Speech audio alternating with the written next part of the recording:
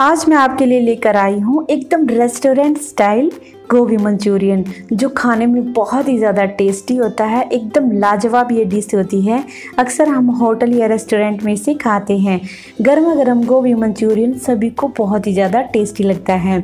और आज हम इसे बिल्कुल परफेक्ट तरीके से बनाने वाले हैं और इसे हम उबालेंगे नहीं, बिना उबाले हम इसे बनाने वाले हैं और एकदम परफेक्ट हम इसे फ्राई करने वाले हैं। आप ऐसे बना सकते हैं। आई होप ये रेसिपी आपको बहुत पसंद आएगी। गोभी मंचूरियन खाने में एकदम टेस्टी लाजवाब डिश है।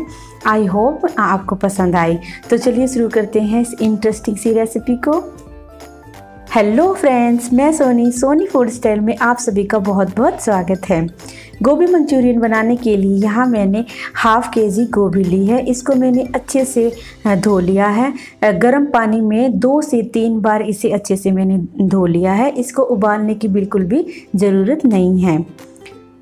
अब हम इसमें थोड़े से मसाले ऐड करेंगे ताकि फीकी फीकी गोभी ना लगे। तो उसके लिए मैंने आधी छोटी चम्मच नमक लिया है। डाल लेते हैं। आधी छोटी चम्मच मैंने यहाँ लाल मिर्च का पाउडर लिया है। और आधी छोटी चम्मच मैं इसमें कुटी हुई काली मिर्च डाल रही हूँ। सभी को हम अच्छे से मिक्स कर लेंगे। बहुत ही ज़्यादा टेस्टी ये गोभी बनकर तैयार होगी क्योंकि सारे मसाले इसमें अंदर तक चले जाएँगे। तो मसालों को हम अच्छे से मिक्स कर लेंगे। देखिए, मसाले अच्छे से मिक्स कर लिए हैं मैंने। अब हम इसमें कॉर्नफ्लावर ऐड कर लेंगे। तो उसके लिए मैंने यहाँ चार चम्मच कॉर्नफ्लावर लिया है। जिस चम्मच से हम खाना खाते हैं, बस उसी चम्मच से चार चम्मच लेना है।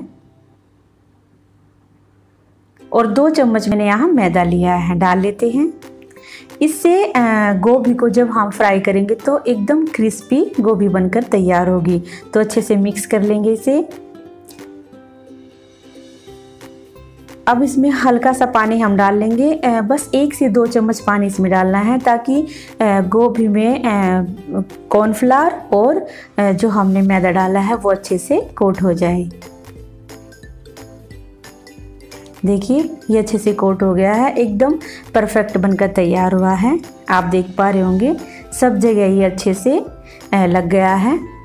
देखिए, अब हम इसे फ्राई कर लेंगे। फ्राई करने के लिए तेल मैंने अच्छे से गर्म कर लिया है। तेल को हम मीडियम फ्लेम पर रखेंगे। हाई फ्लेम पर या लो फ्लेम पर नहीं रखना है। तो हम गोभी के टुकड़े इसमें डाल लेंगे और अच्छे से हम इसको हल्का सा गोल्डन कलर आने तक फ्राई कर लेंगे। ज़्यादा फ्राई नहीं करना है क्योंकि हम दो बार फ्राई करने वाले हैं इसे तो एक बार हम तीन मिनट के लिए फ्राई करेंगे इसे। अगर आप दो बार फ्राई नहीं कर रहे हैं तो इसे अगर उबाल के बनाना चाहते हैं तो गर्म पानी में आप तीन मिनट के लिए अच्छे से उबाल लीजिए और फिर इसको कॉर्नफ्लावर में और मैदे में कोट कीजिए और फिर एक बार फ्राई कर लीजिए। तो तीन मिनट ही हम फ्राई करेंगे इसे। तीन मिनट इसे मैंने फ्राई कर लिया है। हल्का सा इसमें कलर आ गया है। आप देख पा रहे होंगे। तो निकाल लेते हैं इसे। देखिए, बहुत ही प्यारा इसमें कलर आया है। और जो गोभी के टुकड़े बच गए हैं, उन्हें भी हम फ्राई कर लेंगे। डाल लेते हैं इन्हें भी।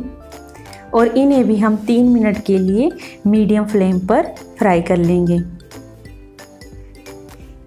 देखिए, तीन मिनट हो गई है, इसे भी हम निकाल लेते हैं। और अब हम गैस को हाई फ्लेम पे कर लेंगे और इनको हम एक मिनट के लिए फिर से फ्राई कर लेंगे। गोल्डन ब्राउन कलर आने तक हम इनको फ्राई कर लेंगे, जिससे गोभी के जो टुकड़े हैं वो बहुत ही ज़्यादा क्रिस्पी बनेंगे और खाने में एकदम टेस्टी लगेंगे। तो एक मिनट के लिए फ्राई करना है, इससे ज़्यादा बिल्कुल भी नहीं करना है और गैस की फ्लेम को हाई रखेंगे। तो फ्राई कर लेते हैं एक मिनट। एक मिनट हो गई है, आप देख पा रहे होंगे बहुत ही प्यारा गोल्डन ब्राउन कलर इसमें आ गया है। तो अब हम इसे निकाल लेंगे टिश्यू पेपर पर, जो भी इसमें एक्स्ट्रा ऑयल होगा वो निकल जाएगा।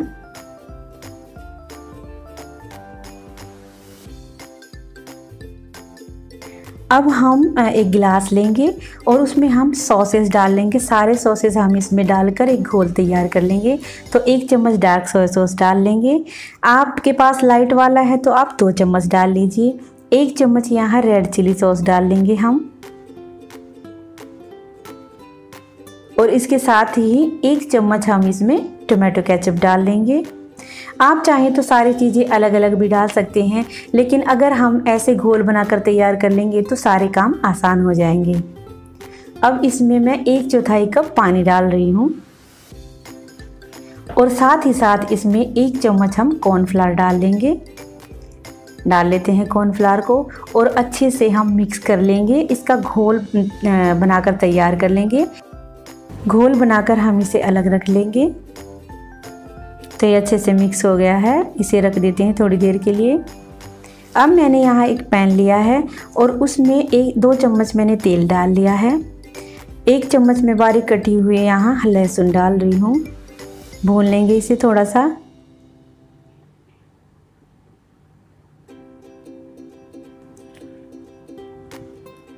अब एक चम्मच हम बारीक कटी हुई अदरक डाल लेंगे इसे भी हल्का सा भून लेंगे।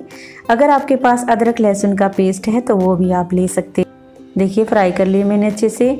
अब तीन मैंने मिर्च ली है, हरी मिर्च। इसको मैंने लंबा लंबा कट कर लिया है, यानी कि स्लिट कर लिया है। ये भी हम पका लेंगे अच्छे से। अब एक प्याज लिया है, जिसको मैंने कद्दूकस किया है। आप चाहे तो बारीक कट करके भी ले सकते हैं। तो इसे भी हम भून लेंगे हल्का सा गुलाबी कलर आने तक।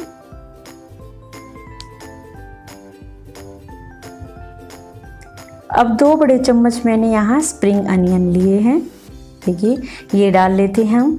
इससे बहुत ही अच्छा टेस्ट आएगा गोभी मंचूरियन में। तो इसे भी हम हल्का सा फ्राई कर लेंगे। अगर आपको ज़्यादा पसंद है तो आप ज़्यादा भी ले सकते हैं। मैंने यहाँ दो बड़े चम्मच लिया है।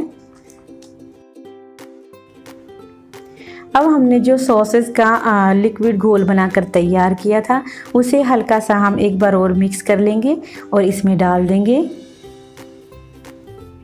और थोड़ा सा हम दो से तीन चम्मच पानी और डाल लेते हैं इसमें। आधी छोटी चम्मच मैं इसमें नमक डाल रही हूँ। मिला लेंगे अच्छे से। दो मिनट मैंने इसे पका लिया है। अगर आपको ग्रेवी ज़्यादा पतली या गाढ़ी चाहिए तो उसी के अनुसार आप इसमें पानी डाल लीजिए। अब हम गोभी के टुकड़े डाल लेते हैं इसमें। अगर आपको पतली वाली ग्रेवी चाहिए तो जहाँ मैंने एक चौथाई कप पानी डाला है तो आप आधा कप पानी डाल सकते हैं या एक कप पानी डाल सकते हैं। मैं हल्का सा इसे ड्राई बनाने वाली हूँ। तो ज़्यादा पानी नहीं डाला है। तो मैंने एक चौथाई कप ही इसमें पानी डाला है। एक से दो चम्मच ऊपर डाला है। तो ये बनकर तैयार है। अब थोड़ा सा हम इसे गार्निश कर लेंगे। कटे हुए स्प्रिंग अनियन से। और इसे अच्छे से मिक्स कर देंगे। थोड़ा सा मैंने बारीक कटा हुआ हरा धनिया डाला है। अगर आपको इसमें धनिया पसंद है तो आप डाल सकते हैं, नहीं तो आप इसके बगैर भी बना सकते हैं। बहुत ही ज़्यादा टेस्टी गोभी मंचूरियन बनकर तैयार होगा। तो इसे एक मिनट के लिए हम और पका लेंगे, क्योंकि गोभी को हमने पहले ही फ्राई किया है, कर लिया है तो ज़्यादा पकाने की बिल्कुल भी ज़रूरत नहीं है। अब इसे सर्व कर लेते हैं। तो ये लीजिए गर्मा गर्म गोभी मंचूरियन बनकर बिल्कुल तैयार है। बहुत ही ज़्यादा ये टेस्टी है और इसे हमने बिल्कुल सिंपल तरीके से बनाया है। एकदम रेस्टोरेंट स्टाइल ये डिश बनकर तैयार हुई है। आई होप ये रेसिपी आपको पसंद आई होगी। अगर पसंद आ रही है तो ढेर सारे लाइक कीजिए शेयर कीजिए, इसे फैमिली में फ्रेंड में सोशल साइट पे भी आप शेयर कर सकते हैं। मुझे इंस्टाग्राम पे फेसबुक पे फॉलो कर सकते हैं। और मुझे कमेंट करके ज़रूर बताइए कि आज की रेसिपी आपको कैसी लगी। और अगर अगर अभी तक आपने मेरा चैनल सब्सक्राइब नहीं किया है तो प्लीज़ प्लीज़ चैनल को सब्सक्राइब कर लीजिए। बेल आइकन को ज़रूर प्रेस कर लीजिए, जिससे जो भी वीडियो हम डाल रहे हैं, उसकी नोटिफिकेशन आपको सबसे पहले मिल जाए। बहुत ही ज़्यादा टेस्टी बहुत ही ज़्यादा लाजवाब ये रेसिपी है। आप ज़रूर ट्राई कीजिए। तो मिलते हैं एक नई रेसिपी के साथ। तब तक के लिए बाय बाय फ्रेंड्स वीडियो को पूरा देखने के लिए आप सभी का बहुत बहुत धन्यवाद।